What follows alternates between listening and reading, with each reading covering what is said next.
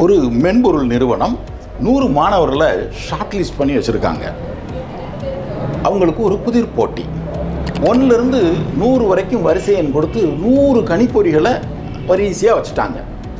இந்த மாணவர்களுக்கும் ஒன்றுலேருந்து நூறு வரைக்கும் வரிசை எண் கொடுத்துட்டாங்க. இவங்கள ஆய்வகத்துக்குள்ளே அனுப்புகிறாங்க ஒவ்வொருவருக்கும் இன்ஸ்ட்ரக்ஷன் கொடுக்குறாங்க.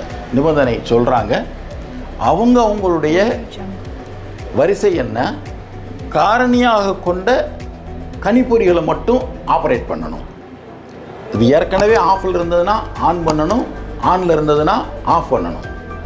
அப்படின்னு சொல்லி உள்ளே அனுப்பி விடுறாங்க. முதல்ல எல்லா சிஸ்டத்தையும் ஆன் பண்ணி வச்சுட்டாங்க. அப்படின்னா இவங்க நூறு பேரும் அவங்கவுங்க வேலையை செஞ்சு முடிச்சுட்டு வெளியில் வந்ததுக்கப்புறம் எத்தனை கணிப்பொறிகள் ஆஃபில் இருக்கும் அப்படின்னு கேட்டாங்க. விலையை சொன்னவங்களுக்கு வேலை கிடைச்சது. மாற்றி யோசிப்போம்.